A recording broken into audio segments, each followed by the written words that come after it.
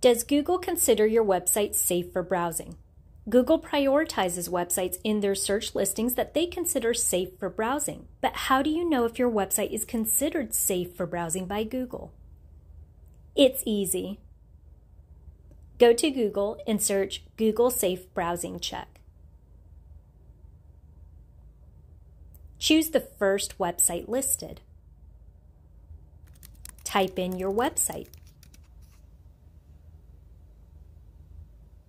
If you get a green check that says no unsafe content found, congratulations, your website is considered safe for browsing.